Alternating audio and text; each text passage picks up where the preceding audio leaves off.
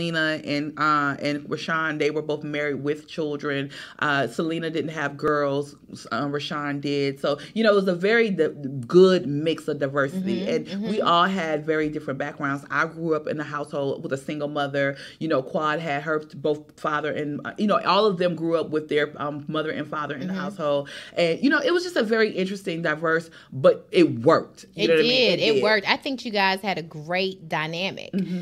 Um, so what happened? That's funny. I knew he was gonna go. You was I mean, going there, girl. yeah. What happened? So because you- I didn't understand, Kiana. I'm gonna be honest with you.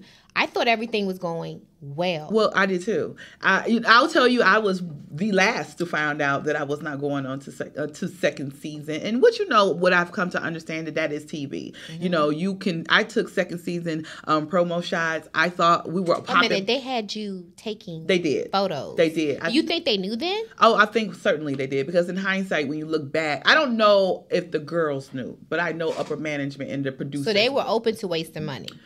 Hey, I